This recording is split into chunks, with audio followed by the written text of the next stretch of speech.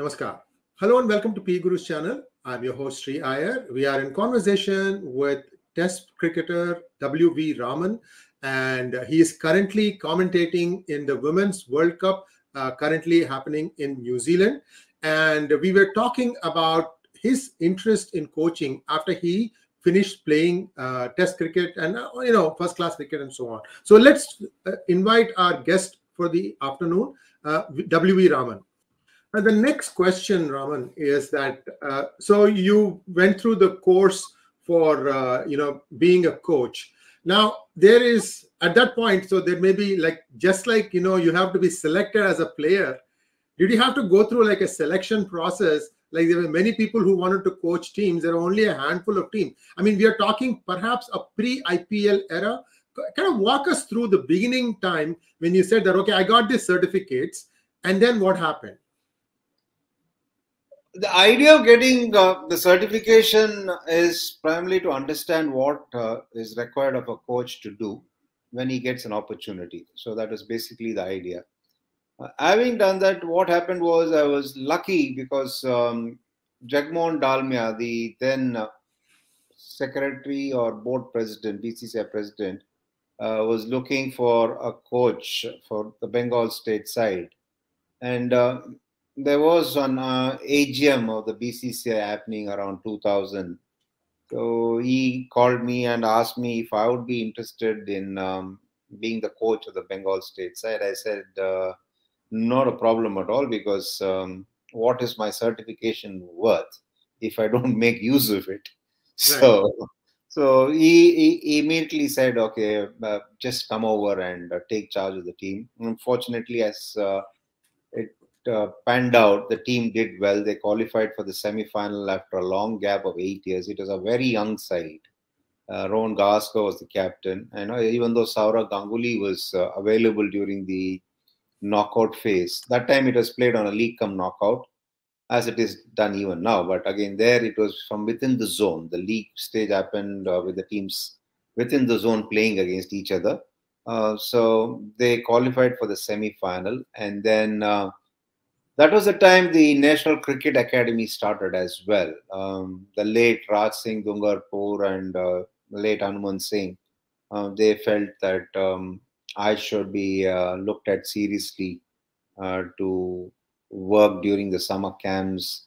And Brijesh Patel, of course, uh, was the director, I think, when it started, or the chairman. Um, he was also of the view that uh, I would be of some use to the budding cricketers. So I did uh, various camps during the summers, and that continued.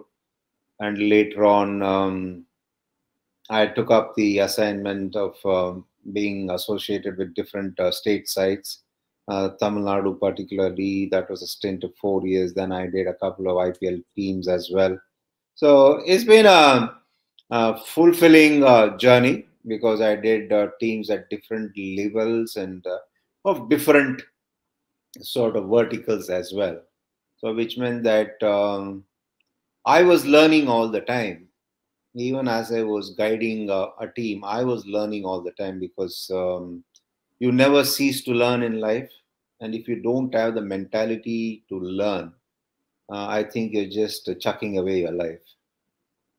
Um, Raman, you, when you were uh, the coach of Tamil Nadu team, I think uh, Ashwin was blossoming as a spinner. Uh, perhaps Dinesh Karthik and perhaps even Murli Vijay, Abhinav Mukund. Maybe you can just walk us through some of those players. How did you know you feel like they could perhaps you know spark something in them because basically they have to go and perform in the field. The coach just says, "Hey, listen, have you tried this?" Or you know, I'm just trying to get into your head a little bit to see how do you you know. Sometimes you know you go for the whole day without a single wicket and then you have to come back at the end of the day and then the next day you have to start all over again. So just walk us through some of those memorable moments as a coach. Dinesh karthik had played for india by then when i, oh, I uh, mm. when i got um, involved with the tamil nadu state side. I think badrinath had also played uh, maybe had just uh, played a couple of games or something like that uh, but in the case of Ashwin, Murli Vijay, and Abhinav Mukund, they all made their debut when I was a coach of the Tamil Nadu side. In fact, um, interestingly enough, um, there was a lot of talk about all three of them prior to them making their debut. There was a lot of talk about them being too young or them being not ready. So, but uh, I had to sort of really um, push hard, uh just because you know there's always this apprehension in, within the system of getting youngsters into the team. They always tend to uh, stick to the people who have already played quite a lot well, there comes a time. There's always a first time, as they say in life. So uh, I had to prevail upon uh, the selectors and then try and get them. Of course, there is one cricketer who's still ranting about me for the fact that um, I was not happy with his attitude and uh, our, our decisions had to be taken. But that's part of the game. You don't um, take up charge of a team and take decisions to please uh, anybody and everybody. That's not the job that you're supposed to do.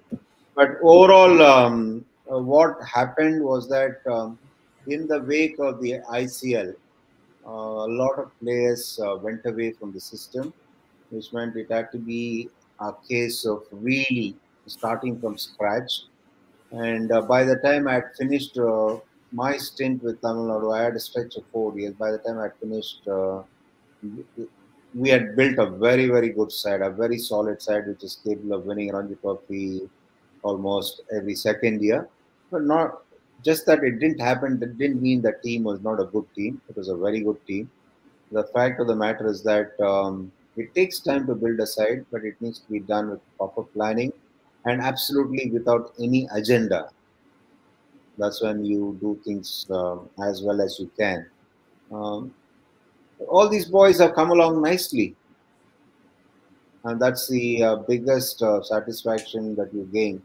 If you handle the side and if you put in place uh, some processes or if you've uh, been involved in uh, building up a site and if you see a lot of um, people really coming along nicely um, you would obviously reflect uh, upon what you've done with a lot of satisfaction and of course the proof is also there that you've done something worthwhile um, it's not only that Murli Vijay, Ashwin, and um, uh, Abhinav Mukund played for India. Balaji also was uh, uh, in a very strange situation then when I took charge of the Tamil Nadu side. Uh, his back injury sustained uh, during the Pakistan tour uh, was really sort of threatening his career. Then um, I had to work with him. It was a couple of years of work. And the best thing was that the hard work that he put in. I'm not taking any credit for his comeback. The hard work that he put in, of course, uh, uh, with a little bit of help from me, um, ensured that um, he didn't go away from the game. He played on for another eight years. Um, he obviously was thrilled with the fact that uh, he played for eight years against the odds when a lot of people very sort of uh, well-meaning people told him, oh, it's tough, Bala. ஒரு வாட்டி back இன்ஜுரிலாம் வந்துச்சுன்னா அவ்வளோதாம்மா முடியாது it's easy to say that no you Khan do it I've given, they've given their two bits of wisdom and gone. Uh, they said, oh, I've told him already, it's not possible. So that's, that's the kind of nonsense that he went through. But um, full marks to him for uh, really fighting it out and making a comeback and playing for eight years. Now, the best part is that he's got into coaching. He's guiding a lot of bowlers, uh, which I'm very happy about. There can't be any better candidate than him to be a walking example of what it takes to be a fast bowler and play for a long time. Um, Raman, let's talk about uh, Lakshmipathy Balaji. You know, 2003 2004 series in Australia, he played in some matches, but his real coming out was breaking out was that Pakistan series, especially the test matches. I mean, he was incredibly good. He was really, really good. So when did this injury happen? After the oh, tests and before the ODIs, or when did that happen? Sir, in hindsight, uh, we can all be very, very wise. But it, it is something that uh, is very, very difficult to debate now. Uh, but uh, let's be wise in hindsight and say that perhaps it was something that could have been uh, seen earlier itself before it really became a serious injury. But again, the problem is that when a cricket is really doing well, nobody will want to go and try and tell him things, Yeah. which is obviously going to knock the moral out of that guy. And the player also will not be receptive because the fact of the matter is that he's going to look at you and say, What are you talking about? I'm feeling fine. I'm doing extraordinarily well. What are you talking about? But the thing was that uh, uh, it was perhaps a case where um, the sports science was in its nascent stage. That was the time that cricket was uh, trying to adopt a lot of principles that have helped other sports and uh, that has proved successful in other walks of life um, being brought into cricket.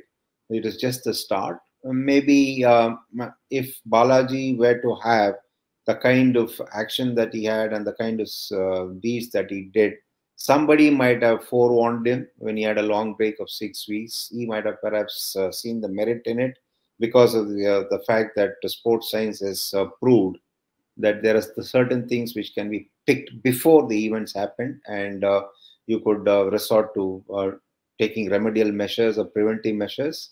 Injury prevention um, knowledge is far more now than what it was then. But again, uh, the important thing was that uh, at least uh, the solace that Balaji can take is that even after the injury occurred, uh, even though it was the nascent stage of uh, sports science coming into cricket, he had the right kind of people to help him in terms of um, getting his fitness going in the post-operation rehab and also the biomechanic uh, specialist helping him out and constantly monitoring what he was doing post his uh, operation. And when he got ready to play. So along those lines, there was at least something in case uh, if we are not to have the help of those specialists, the fitness and the uh, biomechanics specialists not helping him out, who knows? That boy would have just uh, vanished into thin air. Nobody would have known what or where Balaji was by this time who knows? Because Balaji at that time was very keen that he only made a life out of cricket. He did not really focus on other things in life. But uh, all said and done, um, it's a credit overall to all those people who helped him um, the biomechanics specialist, the fitness uh, trainer, and also the dietitian, and also the person who he sought counsel from so it was a team effort, and no matter what help he got from uh, wherever he got from, at the end of the day, it's all his hard work and his phenomenal never say die attitude, which has made him, you know, reap the benefits. And and uh, Bala, if you're watching this video, I love your commentary. It's uh, that Star Sports Tamil group is so much fun. I'm telling you because they are using all these phrases. Some song will come in, some dialogue will come in. I, it's just fun watching them. It's like you know, I'm sitting with all of them and watching that. See, you don't get confused between uh, Lakshmipathy Balaji and RJ Balaji. No, no, no, no. I'm talking about Lakshmipathy Balaji. He is he is commenting, by the way. I saw him on T saying in jest. Right, right, right, right. RJ Balaji is funny. He said uh, in a T20 match, I hope India scores 2,000 runs. I mean, I was just calculating if every ball is a six, even then it is difficult. you know, just saying, saying as a joke. Don't get yes, yes, yes, yes. So um, back to coaching. Um, when you are approaching coaching a an under 19 team, versus say India A team versus the women's team. Let's first start with the kids because the kids don't know their strength sometimes. They are all like Hanumans in the making. They don't know their strength and uh, they, they come and bowl. And, and but then there is discipline required because you know if you start playing some serious cricket you have to play for six uh, six hours a day or something like that how do you pace them how do you uh, start the like how do you spot the talent and then perhaps you can take it from there that age, they'll have tremendous energy. They'll have tremendous enthusiasm. Now, only thing is, you don't sort of stifle it as a coach. And you also don't try to impress them by telling them all that you know. Mm. Just say what is required, be economical with what you're suggesting to them, because at that age, they have to do, make mistakes, suffer, and then learn. Now, the important thing for coaches to understand is experience is something which cannot be bought. It is something that's gained by doing certain things repeatedly over a period of time. And the thing about experience is that it's a very, very harsh teacher. It punishes you first and then teaches you the lesson. So you have to make the boys evolve themselves, discover themselves. You should not be downloading. It's it's it's not like uh, the other aspects of life because in sport it's all about at least in cricket it's all about doing. If you try and download too many things into a kid's head now there'll be a conflict of the mind and the body. Now when that happens the coordinated movement between the body and the mind will not happen. So try and clear the cobwebs if possible. Try and remove the apprehensions if the kid has any apprehensions. Or try and you know see if you can address any insecurities that the kids may have and also be tolerant to their indifferent attitude. Always think about how you were when you were 17 18 yes yes yes yes. Don't, um, don't try and you know sort of put up a set of guidelines and say this is how i want you to be. You're not the father. You're after all a coach.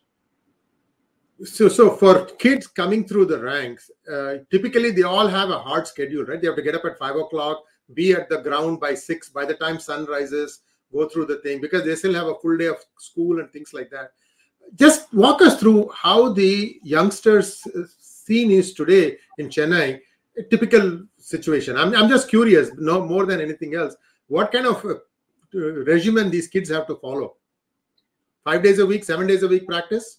One gig? No, I, I, can't be you know uh, giving you the entire rundown primarily because i'm not really in touch with that part of mm-hmm. life. hmm. because i've never had an academy of my own. I've never you know sort of um, resorted to coaching beginners.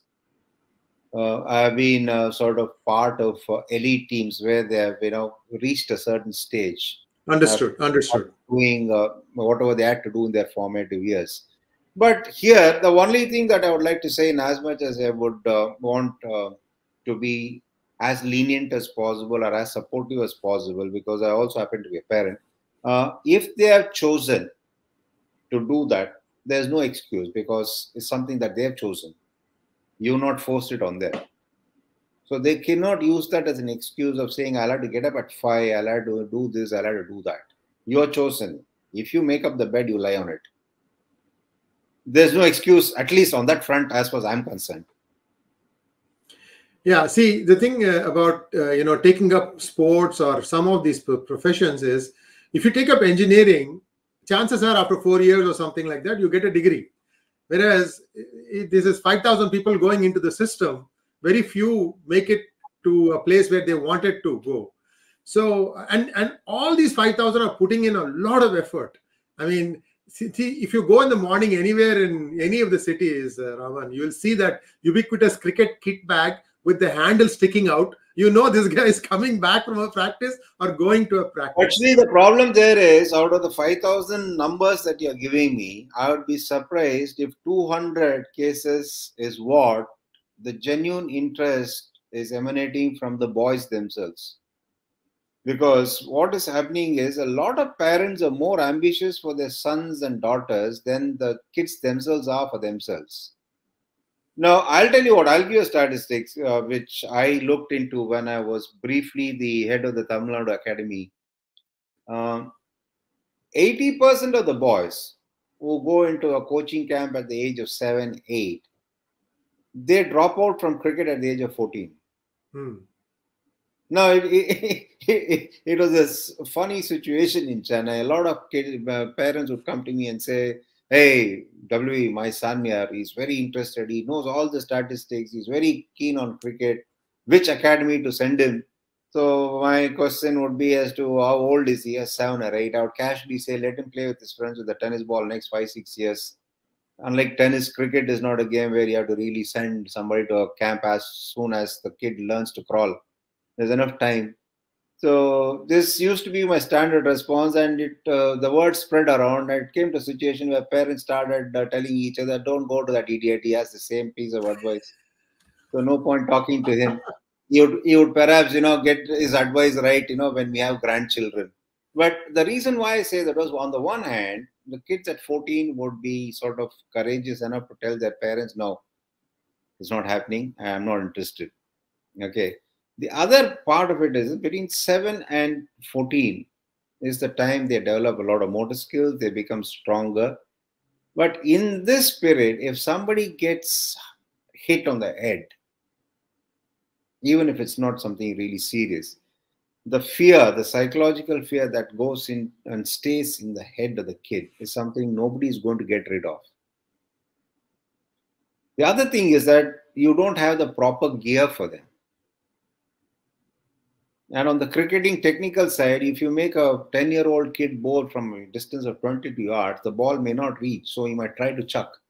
Now, that's again, it's not good for his cricket. There are a lot of disadvantages in that. Yes, organize a game of cricket and with different set of rules, let them enjoy the company, let them play. Yes, activities are fine.